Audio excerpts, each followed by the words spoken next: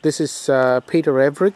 Um, Peter Ervik called me uh, after my conversion. He saw me on Channel 10 and uh, we had a little chat about uh, the electric car and stuff. He did mention at that stage that um, he was going to do a conversion.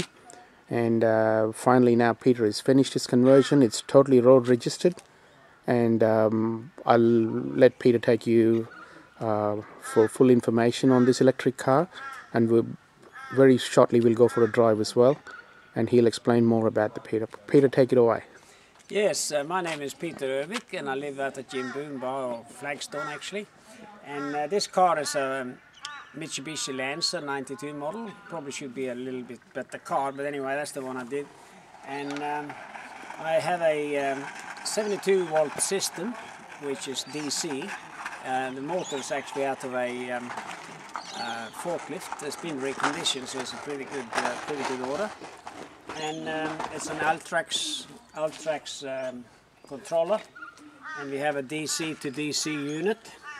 And the batteries are uh, maintenance-free, sealed liquid um, or lead, lead acid, 120 ampere hours, um, deep cycle. And as you can see, we got three batteries in front here, and there is uh, three batteries in the boot. And we also have a um, vacuum compressor to give us vacuum for the assisting the brakes. And what did that um, um, the vacuum pump cost you, Peter? Oh, that was a bit expensive, three hundred something dollars. But in the future, I would buy a different one, which is very very quiet. This one is a bit noisy. Yeah, But it's got a switch and it turns off once the vacuum that's comes up. yeah. Do you need a vacuum reservoir for that? No, You don't. you could probably have one, but uh, uh, it's got the reservoir in, in the tank itself, you know. So Yeah. I mean, the car cars doesn't have it uh, with a petrol engine. They don't have a reservoir. Some cars do actually. I know uh, some cars have a small reservoir, but um, in the boot, uh, can we can we go around? Yeah, sure, sure, Peter.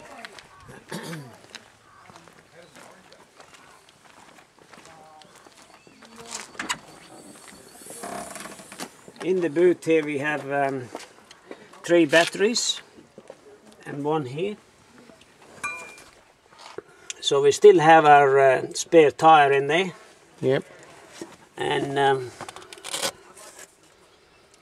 and this is just the spare extension leads Extension lead. you need to Yeah. charge up sometime. You got another one. So basically, you got six, um, 12 volts, Yeah, uh, deep cycle, giving you a total of 72 volts. that's right. And that's the intelligent charger which charges up the batteries. Yeah. Are you happy with that charger? Yes, it um, switches itself off once the batteries are fully charged. Okay.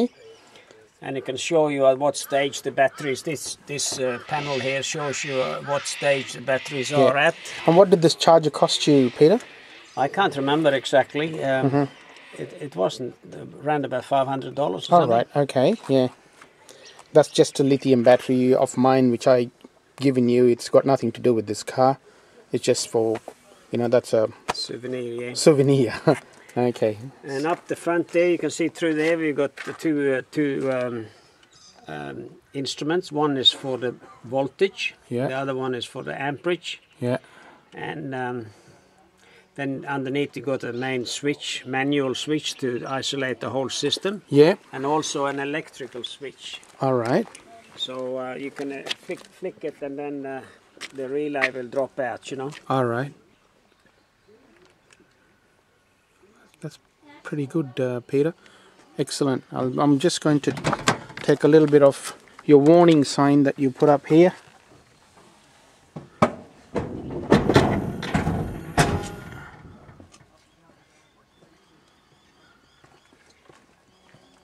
Okay. Yes, I believe there are two people which has blown up their motors by revving the All right. engine in, in neutral. Yeah. Now, uh, people will be interested, um, Peter, to find out more about. Um, tell us a little bit about that motor, and uh, tell us a little bit about the range, and also tell us the cost. Well, the, the Factor. cost so far uh, is, is uh, probably a bit over eight thousand dollars. Yes. Uh, because I didn't pay anything for the car, but I have spent some money on it. I had to put new CV shaft in and a few other things. Um, so um, the the cost hasn't been much. Now the range is not fully proven yet, but I think I'll get about 60k if that's uh, not too steep if it's uh, on the flat. And um, it recharge, of course, uh, in four to eight hours. Okay. And uh, the the cost of driving around is the best part of the whole thing. You know, Yeah. I mean, there, there might be one cent a kilometer or something, Excellent. and uh, that's not much at all. And if you had your own solar panels on the roof, it probably wouldn't be anything if you don't take the capital cost of the batteries or conversion or anything into it. you know. Are you planning to put any solar panels on your roof? Yes, I will actually. Not not on this car, but uh, on the house. You know. Okay. Yeah. Yeah. Because as you can see, I made some stickers here, and I uh, talk about 100% conversion, Yeah. and there is no CO2 Yeah. um, at all. Yeah. That's my phone number, and uh, it's uh, you know CO2 free. Yeah. It's 100% CO2 free Yep. if you have your own solar panels. so the environment, I'm very um, Yeah. I'm very concerned about, and I think I like to put this in uh, now while I have opportunity. I know there is a big discussion in the world about uh, um, whether there's man-made or if global warming is, is fair income or not. You know, well, in my in my opinion, it's very easy to work out what the situation is because we all know that warm water melt ice, and the ice uh, the North Pole and the South Pole ice caps are melting. I mean, you can see it from outer space, they are disappearing, and the oceans are warming up.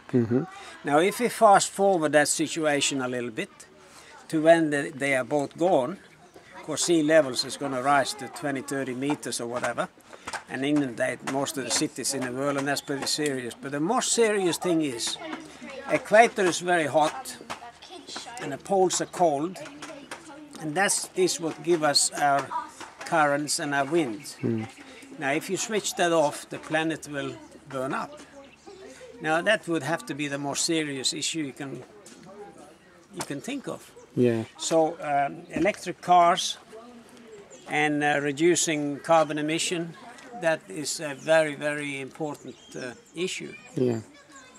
So that's really what motivate, motiva- motivates me more than anything else. And people, you talked about North and South Pole.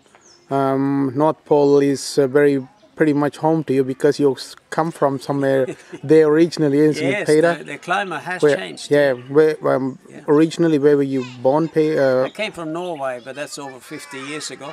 Yeah. Been back there many times since then. Excellent. And um, but in Europe, they are light years ahead of what's happening here in Australia. I mean, if you register an electric car Yeah. in Scandinavia, Yeah. I think they're also in, in London, Yeah. you don't have to pay for registration.